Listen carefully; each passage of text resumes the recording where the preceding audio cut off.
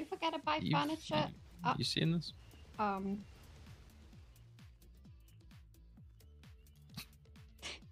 Holden? hold it. Yeah, what up? Are you, My paying, full, are apartment's you paying full price for this?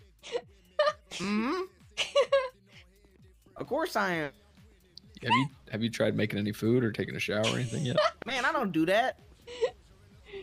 How about a bed? Man, I sleep wherever I can. Where where can you? Mm, On the floor. Yeah, okay. Oh. Should we do something? Should we tell I'm- somebody about this? I- I'll tell the landlord, maybe. I think they're scamming him.